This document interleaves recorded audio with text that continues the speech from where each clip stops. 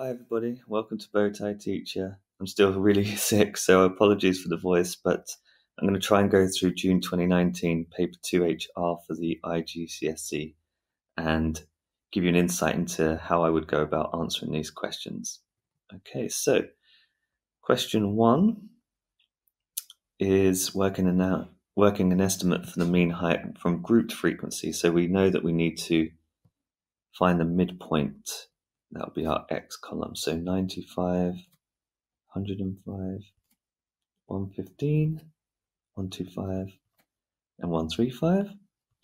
And then we do fx in this column here. So let's work these out. 8 times 95, 12 times 105. 15 times 115, 10 times 125, didn't need to do that one, and 3 times 135. Add them all together.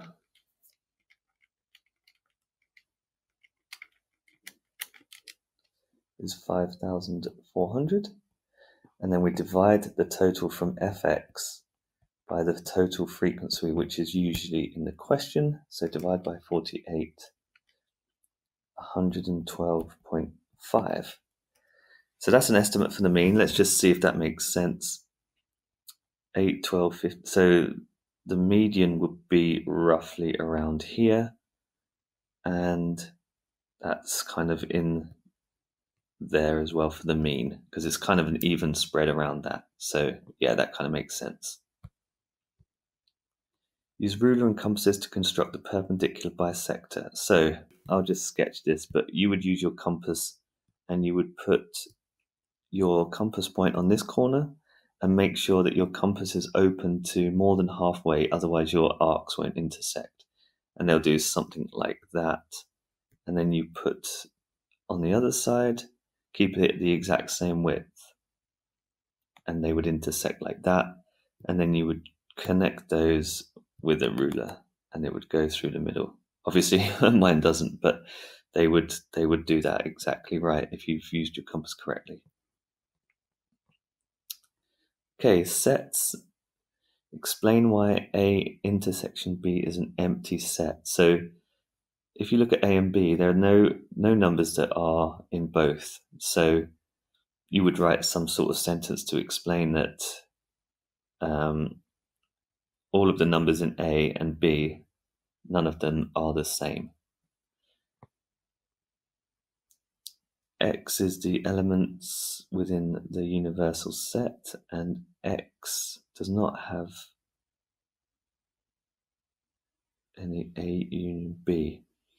So we have to look at the universal set, which are these numbers here, and X is not a member of A union B. So A union B is A or B. So X cannot be in A or B. So we look through those numbers and the only ones that are not in A or B is 1 and 9. Okay, set C. So the first piece, uh, piece of information says that A union B union C is everything. So if we draw our circles, there's nothing in the box that are outside the circles. That's what that's saying. So everything is in A, B, or C. So A was 2, 3, 5, and 7, I think. Yep, 4, 6, 8, and 10 for B. 4, 6, 8, 10. We'll start with that.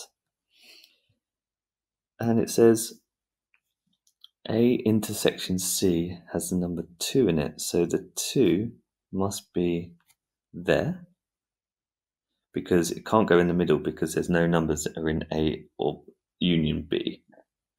So, uh, sorry, A intersection B. So there's nothing in there, so it has to go there. And then B and not C is 4, 6, and 10. So there's B. To be in B but not C has to uh, be in this area here. So B but not C is 4, 6, and 10. So that means that 6, uh, sorry, 8 must be here because 4, 6, and 10 are in the blue area. And so 8 must be in that intersection there. And that leaves two numbers there 2, 8, and 1 and 9 because there's no numbers that are outside the circles. So list all the members of set C, that would be 1, 2, 8, and 9. Hopefully you can follow the logic there of, the set notation. Question 4. A cylinder has diameter 14 centimeters. Well, we never work with the diameter. Radius is 7 and it wants the volume and we're given the height. So the volume is pi r squared h. So pi times 7 squared times 20. And it wants that to three significant figures. So 49 times 20 times pi is 3078.76. So to three significant figures, that would be 3080 centimeters cubed.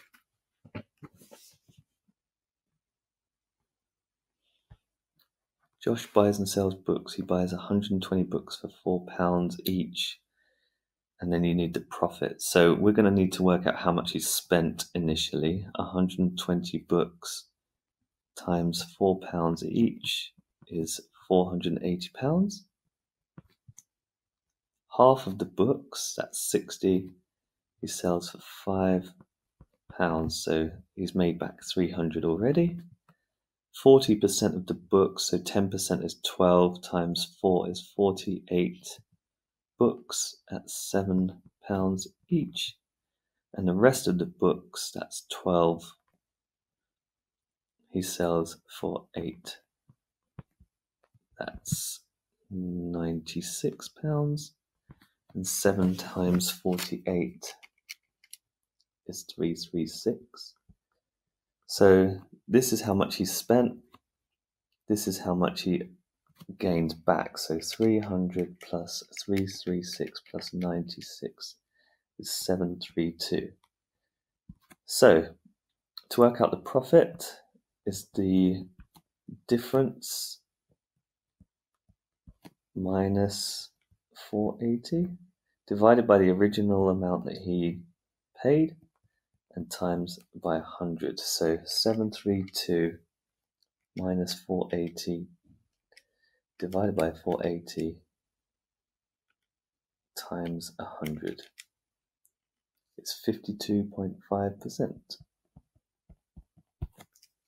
Okay. One book that Josh owns had a value of £15 on the 1st of May 2019. Value of this book had increased 20% in the last year, find the value on 2018. So this is a kind of reverse percentage. £15 is 120%, 1.20 of the original price. So x will be 15 divided by 1.20. 15 divided by 1.2 is 12.5. So the value of the book is £12.50 pence.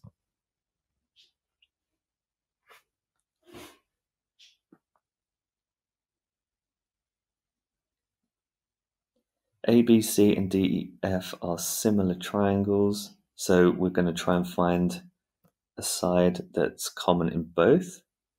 That's these two, and we can work out the scale factor. 15 over 6 is 2.5. So this one is 2.5 times bigger. To work out the length of DF, so that one, 4.2 times 2.5,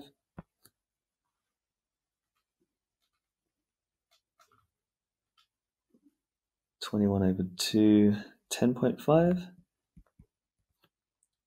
and then work out the length of BC. So we're going to need that one, and we're going to divide it by 2.5 to give 7.8. Okay, so whenever you see the word similar, that's probably going to be scale factors. 30 students in the class sat a math tests. Okay, so this is weighted means here. So we need to find out the total uh, amount of marks. 30 students, the average was 26.8. So the total mark would have been 30 times 26.8, which is 804. 13 of the students were boys and their mean mark was 25. So the 13 boys multiplied by their mean is 325, is it? Uh, 13 times 25. Yeah, so that leaves for the girls 804 minus 325. So the girls scored 479 marks in total, and there are 30 students, 13 are boys, so we're going to divide that by 17 girls. And to 3SF, that will be 28.2. Okay, so if the boys' mark on average was 25 and the class was 26.8, then the girls must have been higher than the 26.8 to pull up the marks of the boys there. So that kind of makes sense. Change the speed of x kilometers per hour into meters per second. So we're going to need to change x kilometers into meters. So multiplied by a thousand, that's now meters per hour. And then we divide by 60 to get meters per minute. Divide by another 60 meters per second. So we're doing x times a thousand, a thousand x divided by 60. And if you divide by 60 again, then you're just doing 60 times 60 there. So a thousand x over 60 times 60 is 3,600.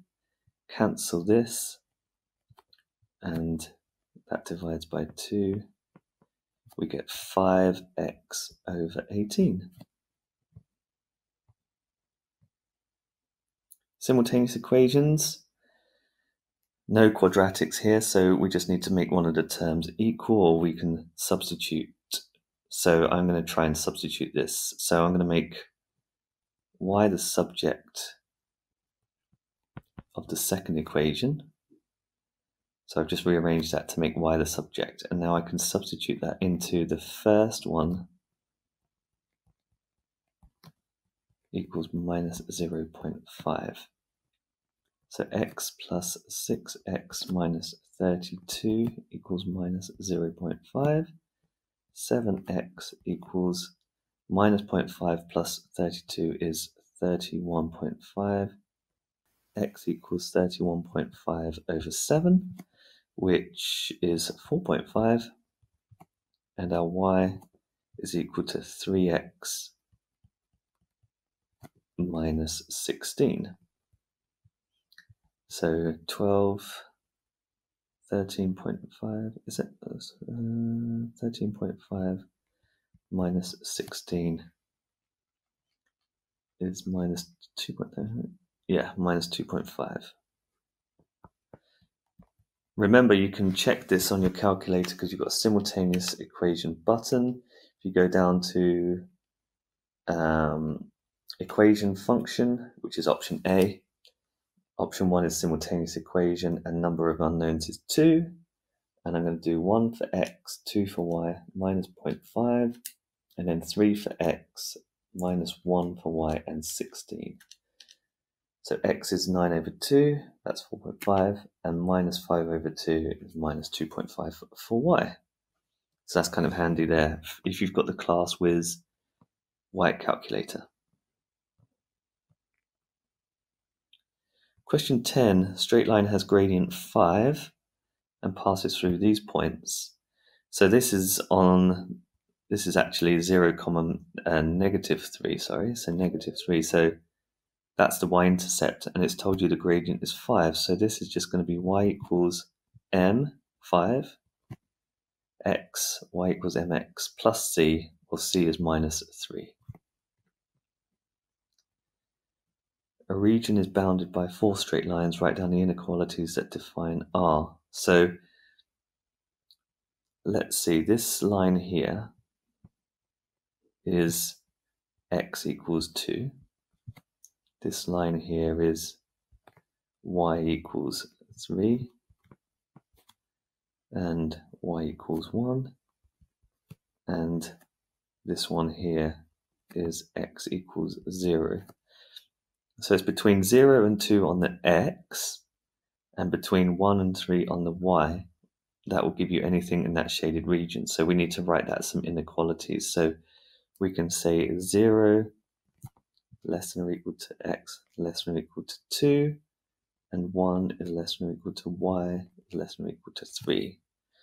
Um, the reason I chose less than or equal to is because the, the lines around these are full lines, like solid lines as opposed to dashed lines.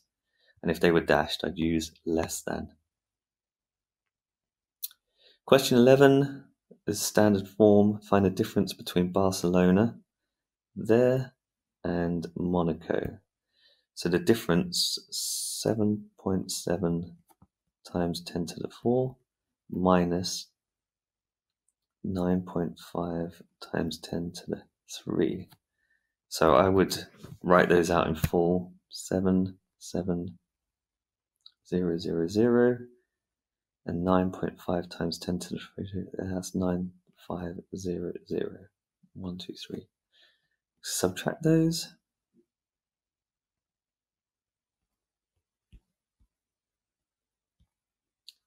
Sixteen seven. Give your answer in standard form, 6.75 times 10 to the 4.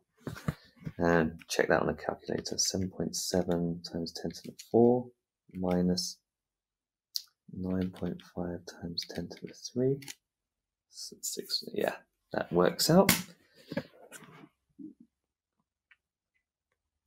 Antonio says the average crowd is approximately 50 times that for Oxford for Chelsea. So Oxford and Chelsea.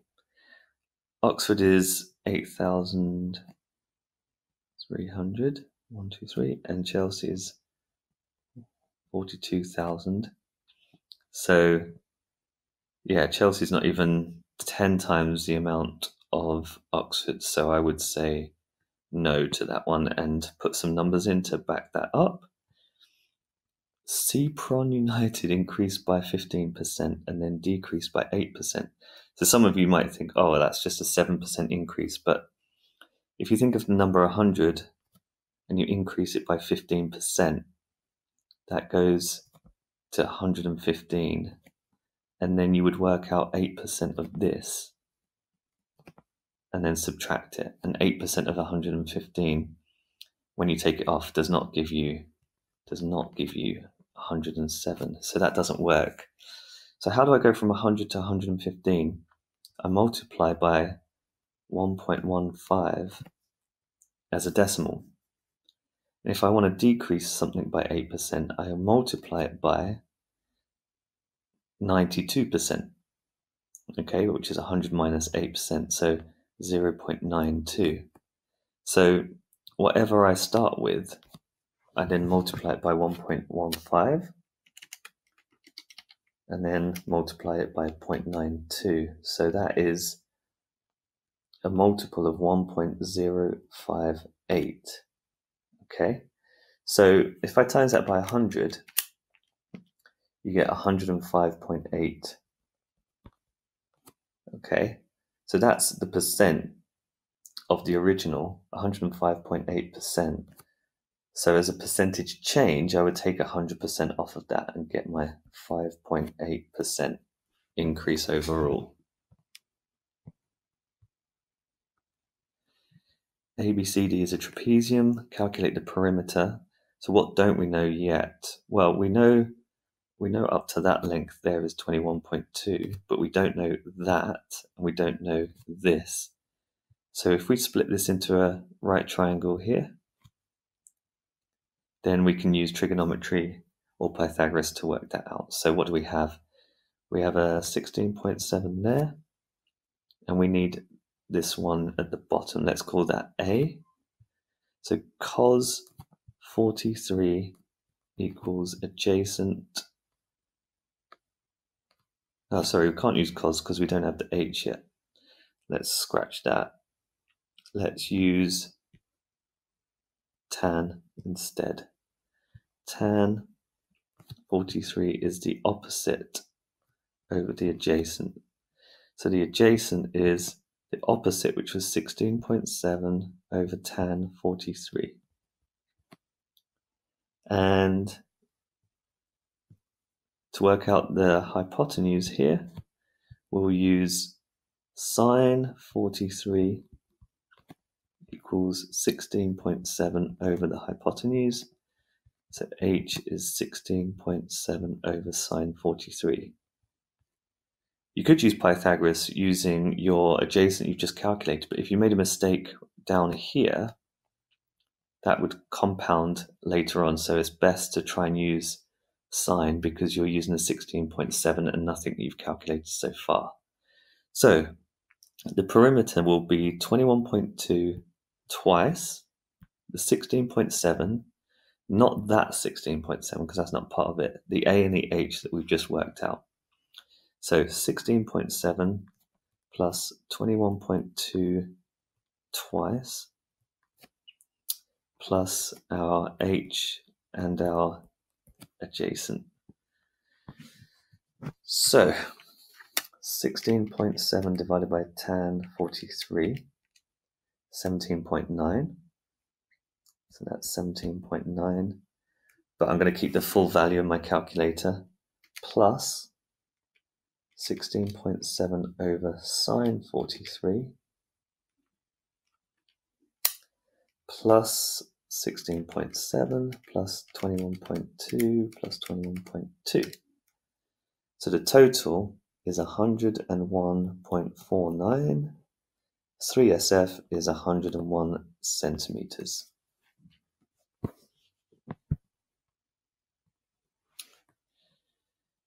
Okay, 80 taxi journeys, cumulative frequency. So we're going to go 7 plus 10 plus 12 plus 19 is 48 plus 18 is 66 plus 14 gives me 80 and you should just check that that is equal to what's given you in the question and then plot that. So we always plot the endpoints. 5, 10, so they're going up in fives. We've got 7, 17.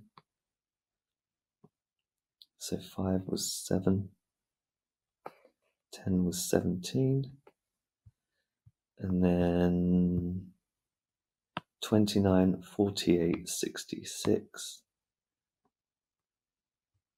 29, 48, 66 and 80 to finish off.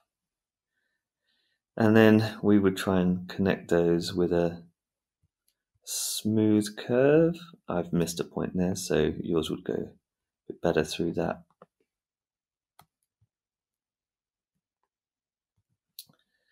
And calculate an estimate for the median. So 80 was the maximum, so the median would be 40.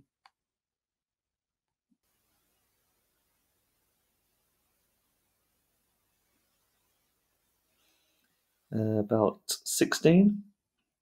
And then the last question is interquartile range. So we go across at 20. That gives us about 11, 12, and across at 60. So that's going down 23. Okay, so that was 23, that one was 12. So the interquartile range would be those two subtracted, which is 11. Okay, here are two vectors. A to B is 6 minus 9. So A go across 6 and down by 9, or minus 9. And C to B, that's B, C to B is 1, 3. So 1 across and 3 up. So if I go down another 3 and across 1, so C goes 1 and then 3 up plus 3 to get to B. How do I go from A all the way down to C? Well, if I went there, A across 6, I need to come back 1 to get to C. So that's a distance of 5. And the total dis- the vertical distance is the 9 and the 3. So that's 12. So I've got a triangle which is 5, 12. And the magnitude is the distance from A to C. So we use Pythagoras on that. So this is a 5, 12, 13 triangle, but AC would be the square root of 5 squared plus 12 squared. 25 plus 144 is 169, and you square root to get 13. Make x the subject, and it's in two places, so we know we're going to factorize this. Um, let's get rid of the square root first. Then multiply, oh, not x plus 3, x plus 1 multiply through to clear the denominator. Expand it out, xy squared plus y squared equals 3x minus 2. Collect the x's all on one side. x y squared minus 3x equals minus 2 minus y squared. Factor the x y squared minus 3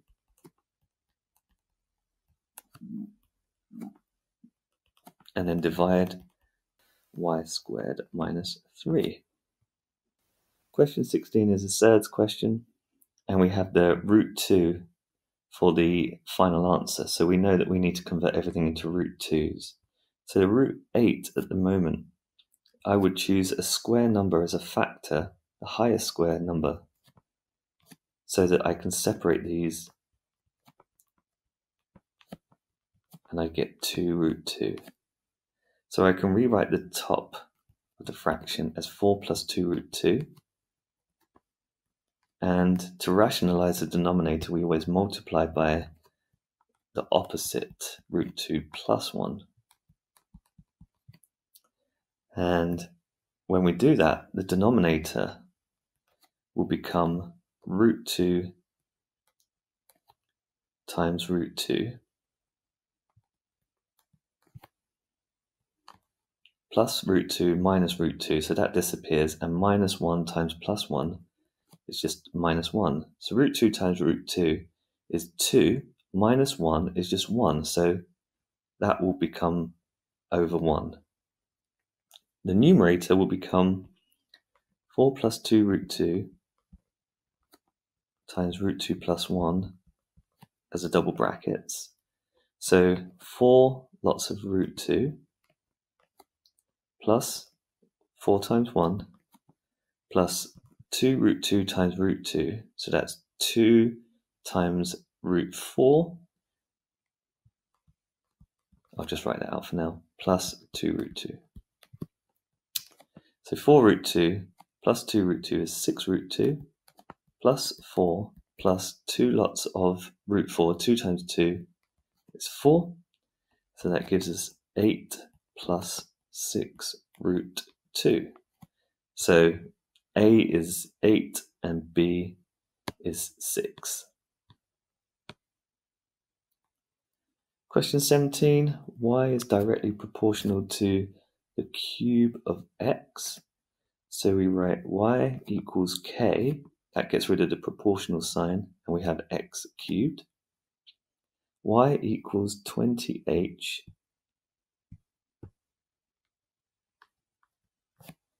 when x equals h. So I'm going to replace x with h, and it's cubed h does not equal to zero. So that just means we can't divide by zero. So I'll divide both sides by h cubed to get k equals 20h over h cubed. I can cancel one of the h's to get k equals 20 over h squared. Find a formula for y in terms of x and h. So y equals k x cubed. So we have 20 x cubed over h squared. Find x in terms of h when y is 67.5h. So y is 67.5h, and that equals 20x cubed over h squared. So we're just replacing the y with 67.5h. Rearrange this. 67.5h times h squared is h cubed. That's 20x cubed. Divide by 20 and I get 67.5 over 20. 67.5 over 20 is 27 over 8. So 27h cubed over 8 equals x cubed. So hopefully you can see that those numbers are kind of nice because we take the cube root of everything separately. We have 3 cube root of 27.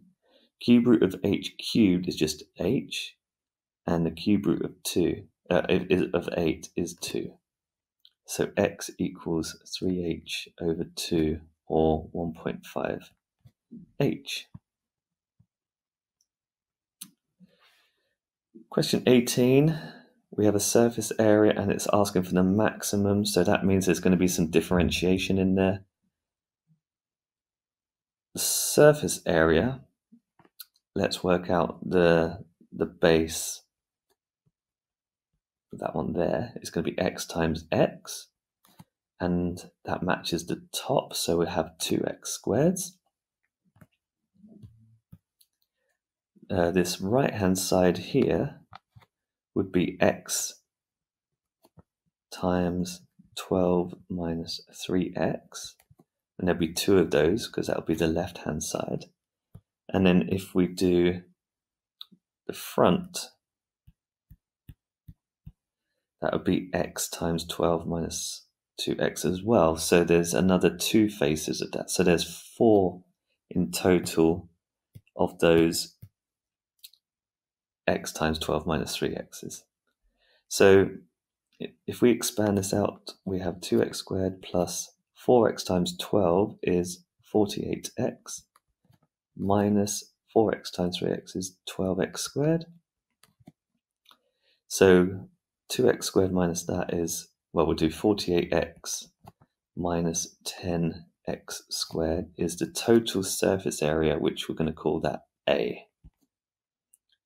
In order to find the maximum, we're going to differentiate this. So we're going to differentiate the area with respect to the length of its sides. And that will be 48 and then minus 10 times 2 and the x reduces by 1. So that's x to the power of 1. And whenever we want to find a maximum, we put the differential equal to 0. So I'll rearrange this to get 48 equals 20x. x equals 48 over 20, which is 2.4. centimeters. So when x is 2.4, this will give you the maximum surface area of the cuboid. And it wants to know what that actual surface area is. So we have to substitute in our x value into our original equation, which was 48x minus 10x squared. 10x squared. So put that in our calculator, 48 times 2.4 minus 10 times 2.4 squared. 57.6 centimeters squared.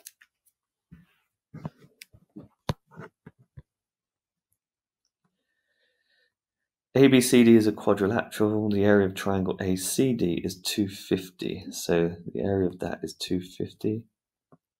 Calculate the total area of the whole thing. Okay, there's no right angles in here, just a bunch of triangles. So we're going to be using probably sine rule and cosine rule and half AB sine C, which is in the front. So the area of ACD is 250, and that's going to be equal to half AB. So this is A, this is B, because this is the angle here. So you need the two sides that are, that are next to that angle. So there's the two sides and the angle in between. So it's half 26 times B times sine of the angle in between them. That'll allow us to work out what B is. Because once we've got B, we need to find another side, maybe this one here, or this one, and we can use the same formula again to work out the area of that triangle. So let's find B, times both sides by 2, 500 equals 26b sine 39. And I find b is 500 divided by 26 sine 39. So on the calculator, 500 over 26 sine 39, 30.5, 30.5, 30.55. Keep that stored in your memory on your calculator. Now we have a triangle here with 47, 95. So we can work out that side, uh, that angle there. 95 plus 47 is 142. So 38 degrees in there. And now we have that and one of the other sides, we can use the sine rule to work out any of the other sides that we like. So let's do uh, AB, this one here. Let's call that C. So C over sine 47, because that's the angle opposite, is equal to B, which we do know, we've already worked that out, over sine 95. So C equals B sine 47 over sine 95. So our B, which I stored in the memory, times sine 47 divided by sine 95 is 22.43. So now that we have B and C, we can use the 38 degrees and we can use the area of a triangle to find out that. So area of ABC is half BC sine of A. So times that divided by 2 times sine 38 degrees is 211.03. Okay, so I did half b times c times sine 38. And now I've worked out the two triangles areas. I can add those together. So the 211 plus the 250 is 461 centimeters squared to 3SF.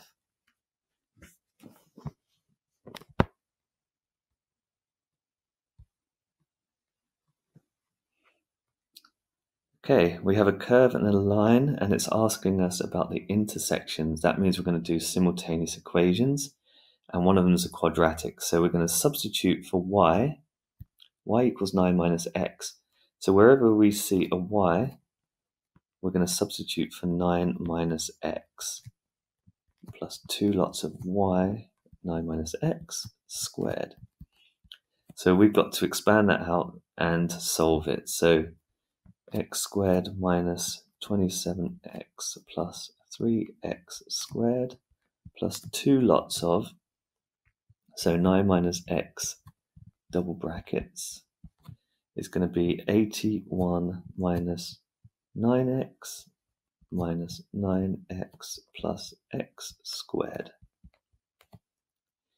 So x squared plus 3x squared is 4x squared minus 27x plus two lots of 81 minus 18x times 2 36x plus 2x squared. So we've got 6x squared minus 27 minus 36 is minus 63x plus 162 equals 0. Um, 3 goes into all of those, so 2x squared minus 21x plus uh, 54.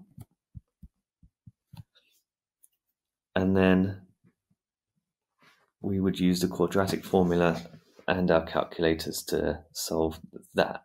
So, uh, menu A. I've got two. Well, let's use the one before I did all the cancelling, just in case I made a mistake. And 162. x equals 6. And x equals 4.5. So our y values for each of these was 9 minus x, if we remember. So 9 minus x is that and for this 9 minus 4.5 is 4.5. So our final values are 6 comma 3 for our intersections and 4.5 comma 4.5.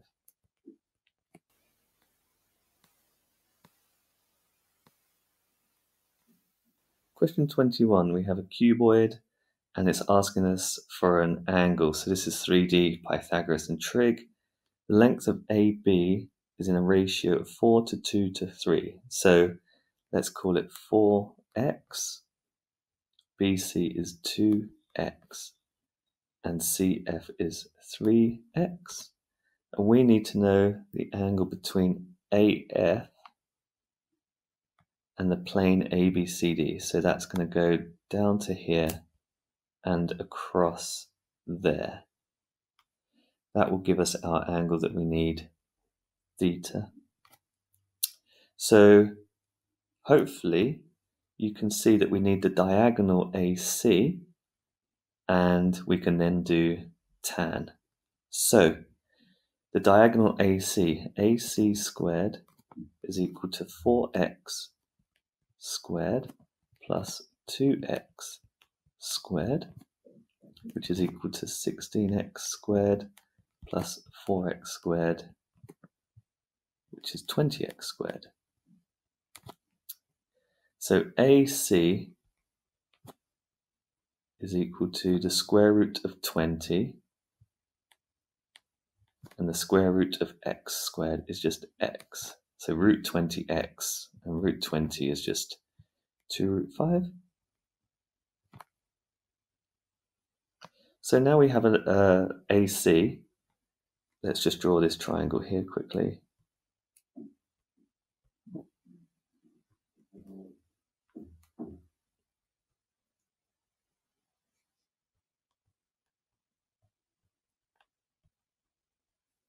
I now have theta and 3x and 2 root 5x. So that 2 root 5x is going across that diagonal there.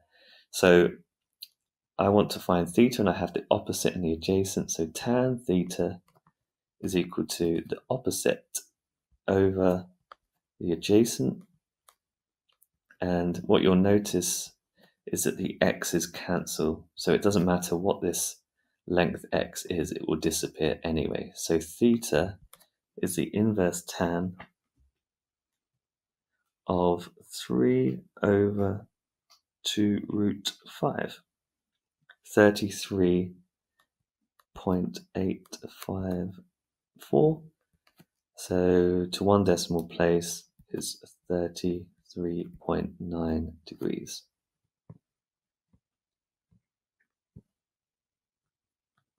Question 22. Simplify this fully. Um, we have x in every term in the numerator, so I'm just going to pull that out first. And in the denominator, we have difference of two squares. We have two square numbers, 2x plus 5 and 2x minus 5. So that gives us a clue as to what the numerator is going to factor to because we've already got that on the denominator. So probably one of the brackets is going to be 2x plus 5 or 2x minus 5. So we can put a 2x and a 5 because we don't know the sign, that'll allow us to work out the other bracket. So 3x there, 2x times 3x, and the 5 must multiply by the 1 there. So we want plus 13x, so we're going to have to have a plus and a plus there, I think, are we? Plus, no, we're going to have a minus there. So 6x squared plus No, we're not. We're going to have it that way around. we got there in the end. So 6x squared minus 2x plus 15x. Yes, that, that will work. So 2x plus 5 and 2x minus 5. So now we can cancel this with this, and we're left with x brackets 3x minus 1 over 2x minus 5. Question 23. Boris has a bag that contains red sweets and green sweets only.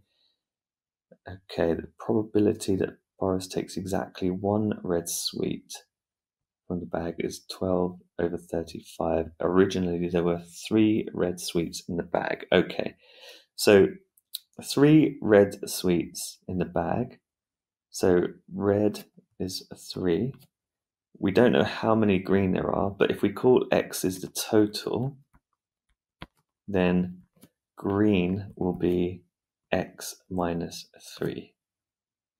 If we have a quick probability sketch, we can go red first, red, green, green, red, green.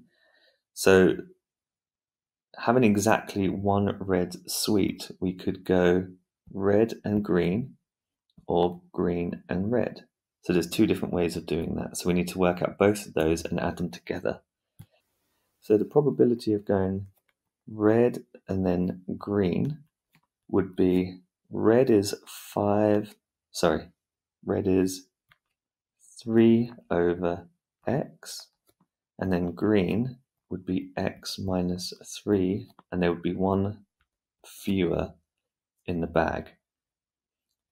Probability of going green and then red would be x minus 3 over x multiplied by 3 over x minus 1 because there would be three reds and one fewer in the bag. So when we multiply these together, we have 3x minus 3 over a common denominator of x brackets x minus 1. And the second one is also the exact same thing, like that. So when we add those two together, we already have a common denominator. We have 3 over x minus 3 plus 3 multiplied by x minus 3, sorry, over x brackets x minus 1. So what we actually have there is 6 brackets x minus 3 over x brackets x minus 1. But you could multiply that out if you wanted, just to double check that. So we've now worked out the probability of getting red green or green red, and it tells us that that is equal to 12 over 35. So we can also put that equal to 12 over 35. We now have an equation which we can solve. So we're going to cross multiply 35 times 6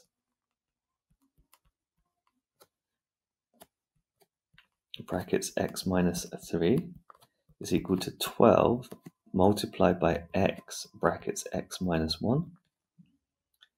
35 times 6 is 210x minus 3 lots of 210 is 630. And that's equal to 12x squared minus 12x. Rearrange this. 12x squared minus 12x minus another 210x is minus 2 to 2x and then plus 630 equals 0. Let's just double check that on the calculator. 12 minus 222 and 630 so our x value is x equals 15 or x equals 7 over 2, 3.5. Now, if we think about it, we can't have a half a marble or count or whatever it was, so we ignore this one. So the total number of, let's see what it is, sweets, sorry. Total number of sweets in the bag was x, which is 15, and the number of green sweets, which is what the question wants, was x minus 3. So x minus 3 would be 12 green sweets. Final question 24. Function f is such that f of x equals 3x minus 2. Find f of 5. So we just have to substitute 5 in for x. So wherever you see an x, you replace it with a 5. So 15 minus 2 is just 13. And then the final part is is very tricky because we actually have a quadratic equation here. And when you do the inverse of a quadratic equation, you can't use the traditional method of just swap, swapping the x's and the y's around, or, or whichever method you use. You have to actually complete the square first. Um, the reasons behind this are kind of beyond the scope of this this video, but I'll show you at the end what it kind of looks like, and we can get our head around it. But for now, if you ever see a quadratic and, and it asks you for the inverse, you have to complete the square. So g of x, let's complete the square by taking the 2 out as a factor. x squared minus 10x plus 9. And then we can complete the square on the brackets. So we're going to do x minus this thing halved. Then we subtract that thing squared, and we have the plus 9 that we originally had. So 2 x minus 5 squared. Sorry, that 9 should be a 9 over 2. So minus 5 squared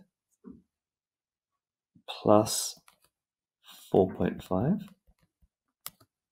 gives us 2 lots of x minus 5 squared. Minus 25 plus 4.5 is minus 20.5. So now we can do two lots of x minus 5 squared. And let's multiply it by 2 actually. Let's get rid of that.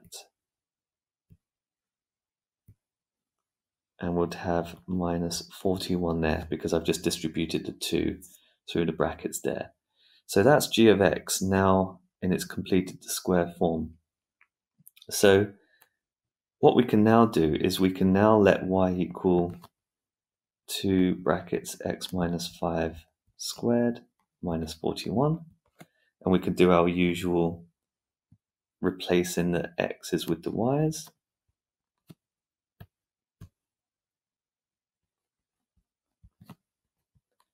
And we have to make y the subject. So we're going to do x plus 41 and then divide by 2 to give you y minus 5 squared. And then square root that to get plus minus square root of x plus 41 over 2. That would equal y minus 5, so I'm going to add 5 to both sides to get y. So that's our inverse function there. 5 plus or minus, that's a, that's a horrible um, answer there. But if I just kind of show you what's going on with this, what we have is a quadratic graph with its uh, vertex at the opposite of minus 5 and negative 41 down there. So the graph would go something like this. And it's telling us, though, that x is greater than or equal to 5 in the question. So this is only actually, we're only interested in the right side of this graph. This bit here, we're not interested in. And that's because when you do an inverse function, you can only have a one-to-one relationship, which you, you kind of do more in A level, but we can't have a many-to-one relationship like this quadratic here. And when we take the inverse, we reflect it in the line y equals x, and that 5 comma minus 41 would become minus 41 5 so something like that. And it would be a, a graph that kind of goes up like this.